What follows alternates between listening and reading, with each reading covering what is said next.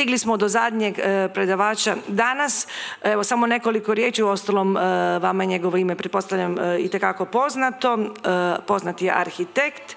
Predsjedao je do nedavno svjetskom arhitektonskom organizacijom. Bio je i predsjednik Američke nacionalne arhitektonske udruge. A kako politika i arhitektura, politics and architecture belong together, reći će nam čovjek iz dobro obavištenih izvora sam čula da je usto što je vrhunski stručnjak i bajker i glazbenik. Uh, ulazi uz glazbu Talking grupe Talking Heads, uh, možda nam pojasni zašto. Uh, možemo pljeskom pozdraviti gospodina Tomasa Vonija.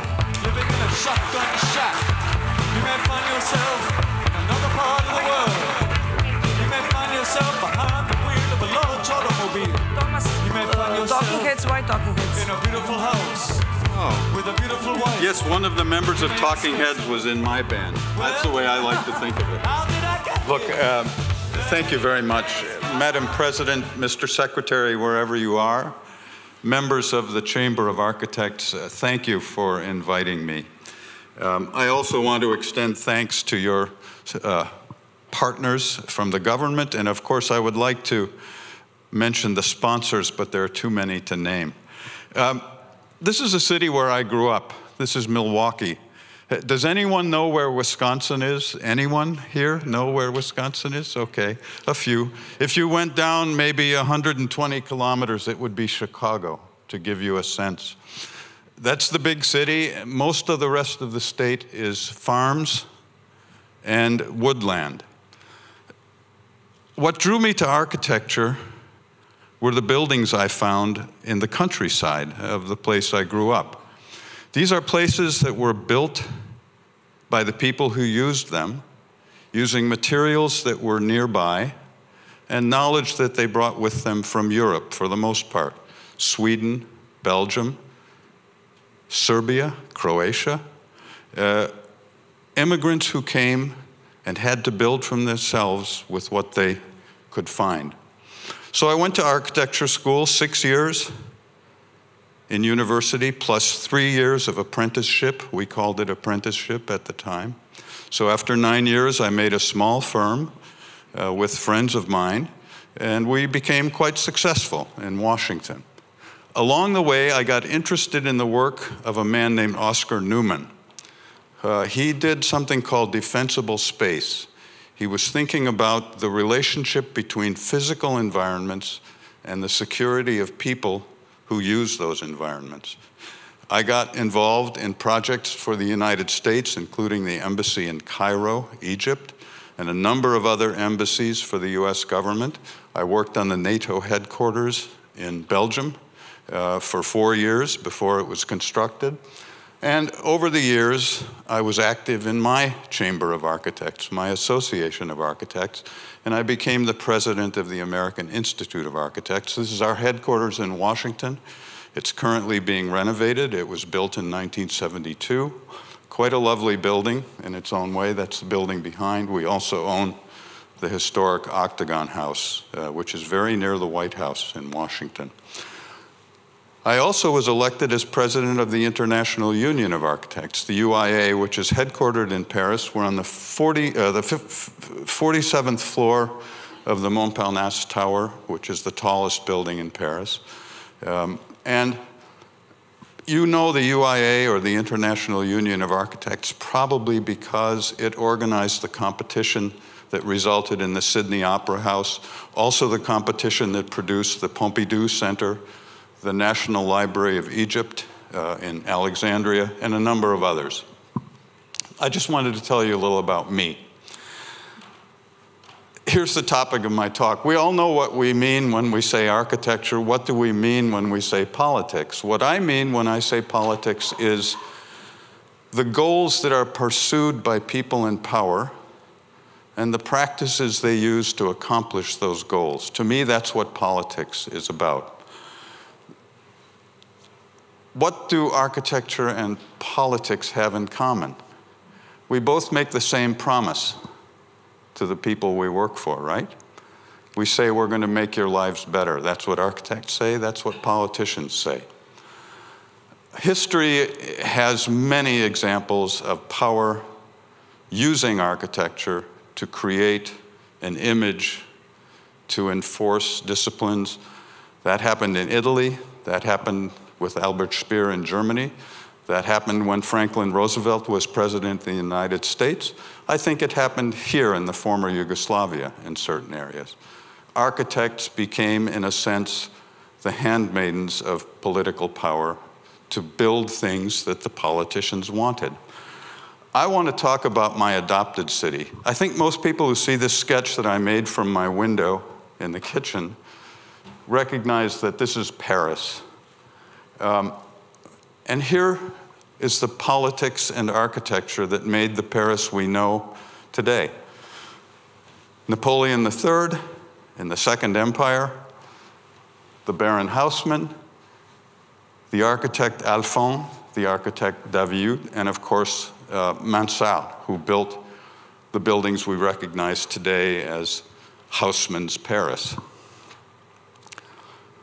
which survive and which are still a very good way to live. And what I just want to talk about is the fact that it wasn't simply a set of monumental designs. It was not fundamentally an exercise in making form.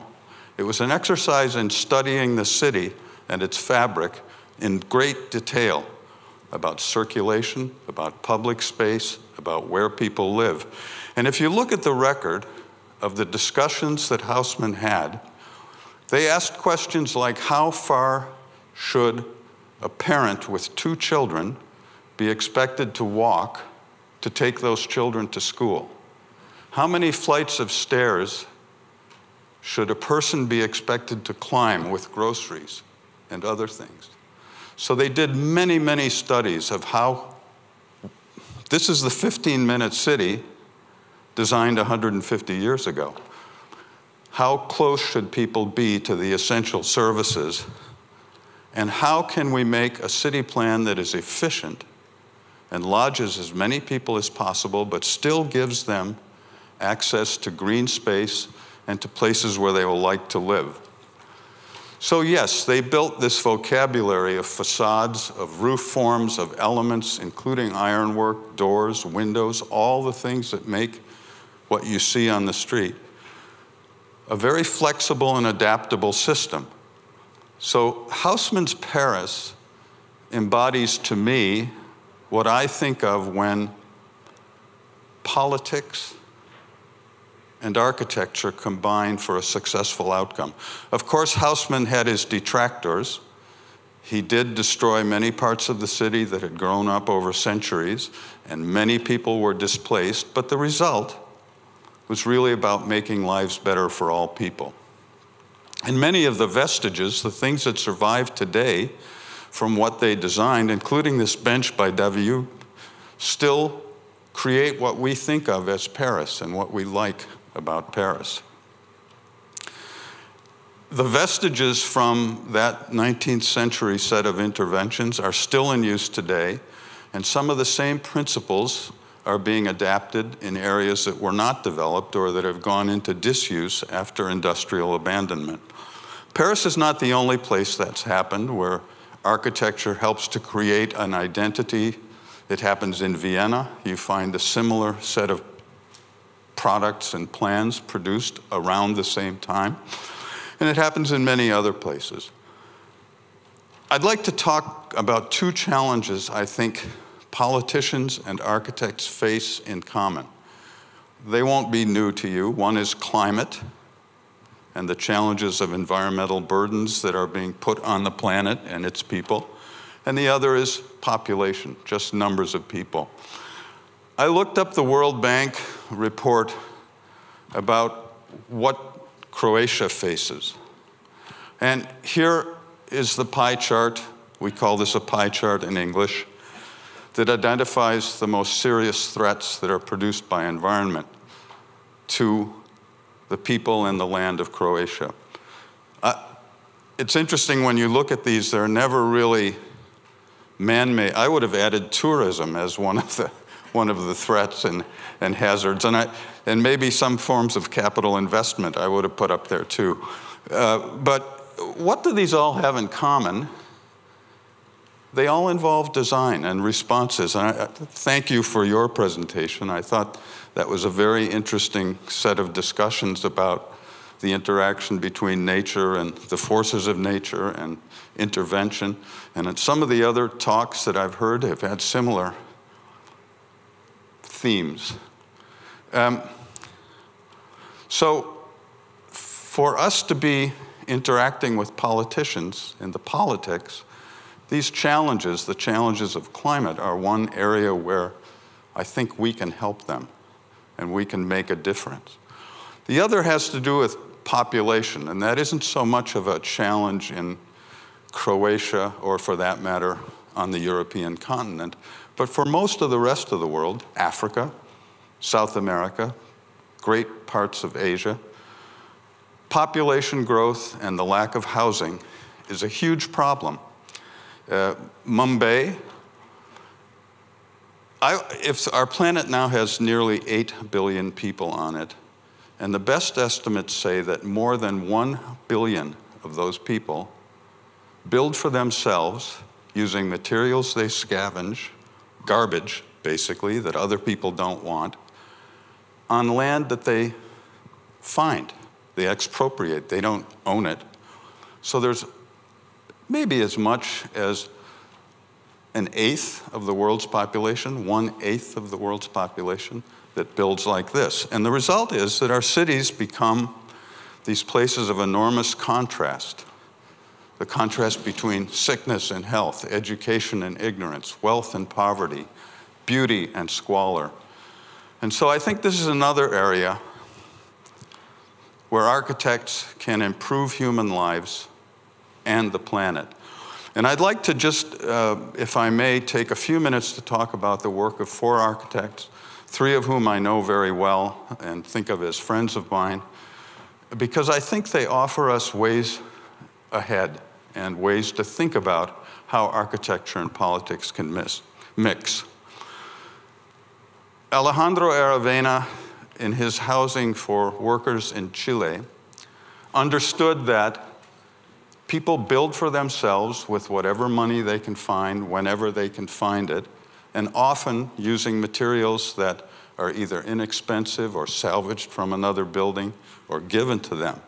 So he built this basic framework, designed and built it, knowing that ultimately this was not going to be on the cover of a great design magazine, although it did wind up on the cover of a great design magazine when he won the Pritzker Prize.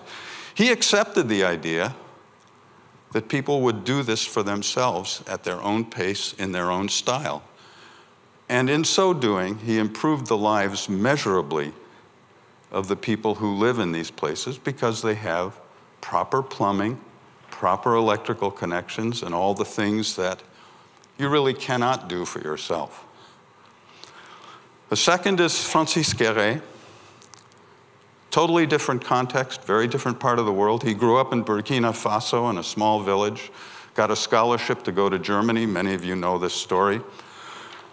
But once he was educated as an architect, he went back to his home and he taught people how to build for themselves using materials they could find at hand.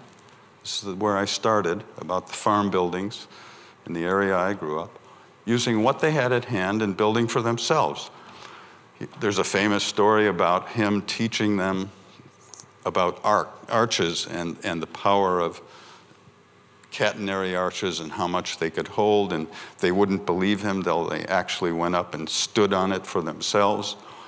But he too is an architect who understood the context, the problem that he was facing, the resources that were available to address the problem, and then used his talents as a designer to improve human lives.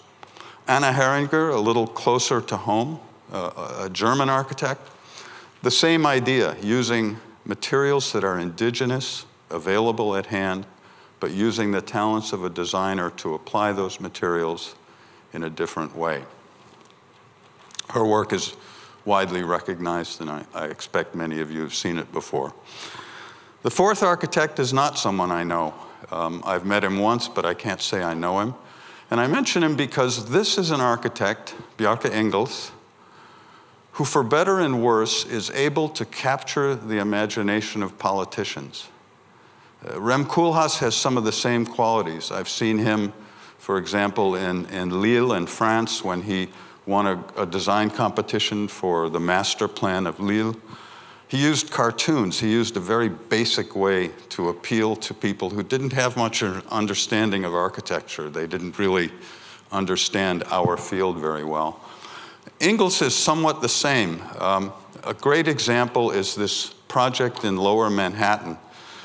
Hurricane Sandy struck, it's now 11 or 12 years ago, a huge storm that brought water up into lower Manhattan, destroyed countless buildings, uh, did huge amounts of damage. And Ingels, the, the, the, the, Army Corps of Engineers in the United States, had the idea that you struggled with. They wanted to build a high wall out of concrete all around lower Manhattan. And, you know, enormous cost, ugly environmental impacts that nobody really wanted. Ingels had a different idea. His idea was take that ring around lower Manhattan that is vulnerable to water and use it when it's not flooded as recreational space, as something people can actually walk in on bicycle on. And when it floods, have it act as a proper barrier. Design it so that it can accommodate a storm surge or rising water. So he's an architect whose work I think deserves study just because it is something that captures the imagination of people who don't really understand our field and who have power. I understand what uh, Madame von der Leyen has in mind when she talks about the new European Bauhaus. And I know through the Architects Council of Europe and all over Europe, people in our profession have embraced this idea of a new European Bauhaus. My question is why would you choose the name of what was essentially a cult in Germany before the Second World War to name an initiative that's supposed to accomplish so much? And especially because people who are not in our field, the general public, many politicians, don't know what the Bauhaus means, they don't know what it was, they don't really understand its purposes or why we admire it. So I think one of the challenges we as a profession face, and you, I think, in Croatia face with your political leadership, is how to speak to them in terms that are meaningful to them. Not, not to us, not to you and me, but to them and to the challenges that they face. So I think the message I'm going to close here with this is that we do belong together. But I would change the formula to say, I'm going to improve your life, we are going to improve your lives, by saying to the politicians, working together, we can improve people's lives and at the same time, the planet. If you don't like what I've said, um, or you would like to congratulate me for what I've said, Here's how you can reach me. Again, may I please extend my thanks to you, uh, to Robert, wherever he is, and to the Chamber of Architects for inviting me. Thank you so much.